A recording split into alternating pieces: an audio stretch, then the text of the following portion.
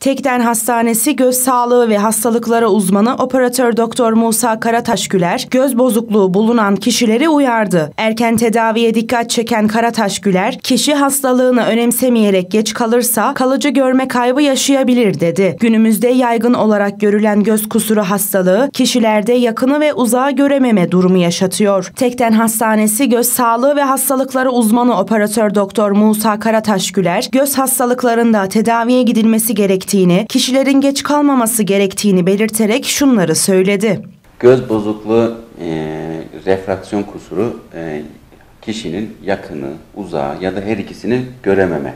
Gö, e, bu refraksiyon kusurları korneadan kaynaklanabilir ya da e, gözün ön arka çapına bağlı olarak e, fort miyop dediğimiz doğuştan olan bozukluğa bağlı olarak e, buna bağlı olarak bulanık görme olabilir. Belirtileri genellikle işte e, miyop, işte bunları üç grupta ayırabiliriz. Miyop, hipermetrop e, ve astigmat diye ayırabiliriz.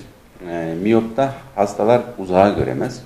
E, hipermetropta e, daha çok şikayeti yakın ama aslında uzak bozukluğu da var.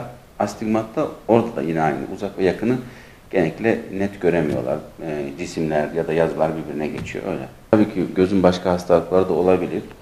Ee, ne olabilir? İşte katarak olabilir, birlikte göz tansiyonu olabilir.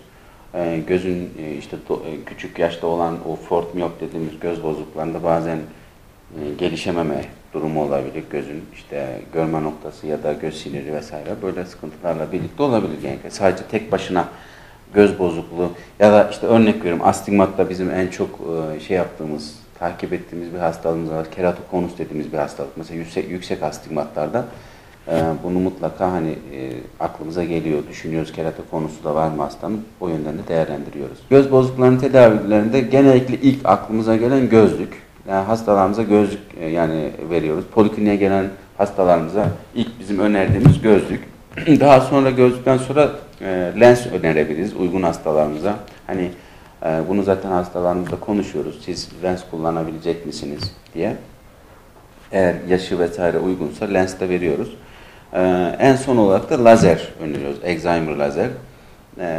Geç günümüzde birçok lazer çeşidi çıktı. İşte e, no touch, e, smile vesaire.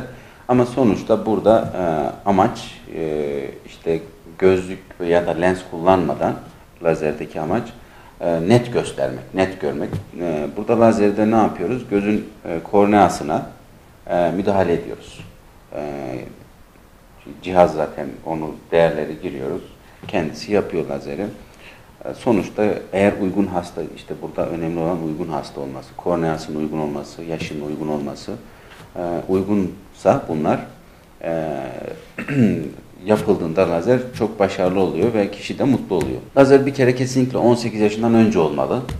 Ee, 18 genellikle 40 yaş 18 ve 40 yaş daha çok öneriyoruz. Yani ama en sık uyguladığımız yaş grubu 25-30 yaş grubu.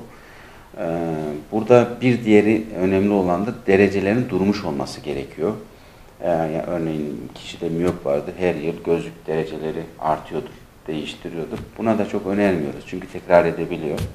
E, miyopun sebebi işte yakını yakınla çok uğraşmak. Buna bağlı oluşuyor. Çok yüksek derecelerde normalde hani lazerde biz plan yaparken hastanın e, sıfır sıfır olmasını istiyoruz. Refraksiyonun sıfır olmasını istiyoruz. Gerçekten de onu yakalıyoruz ve oluyor. Çok yüksek derecelerde örneğin yüksek astigmatı var 5 derece üzerinde astigmatı varsa Eskiden e, yani eski yöntemlerle yapamıyorduk ama şimdi günümüzdeki yöntemle bunlara da lazer yapabiliyoruz. Bazen hani e, bir dereceye vesaire kalabiliyor yüksek derecelerde. E, ama yine de hastayla konuşuyoruz bu konuları. Hani düşük derecede olsa bazen diyorlar gözlük kullanmak istemiyoruz ama yine görmeyi netleşiyorsa bazen onlara da yapıyoruz. Tedavisi olmayan halen günümüzde yani e, çok tabii ki teknoloji gözde çok ileri düzeye gitti. E, çoğu hastalığı tedavi edebiliyoruz. Ama tedavi edemediğimiz hastalıklar da var tabii ki. Örnek vereyim işte e, ya tabii şey de önemli. Hastaların e, geç kalmaması. Yani e, örneğin e, bir hastalık var gözünde. E, zamanında gelirse onu tedavi edebiliyoruz ve durdurabiliyoruz. Ömür boyu görmesini sağlayabiliriz. Ama geç geliyorsa yani onu önemsemezse kişi o hastalığı e, kör edip ya da işte kalıcı görme kaybına sebep olabilir. Bunun en sık sebebi işte glokom, göz tansiyonu.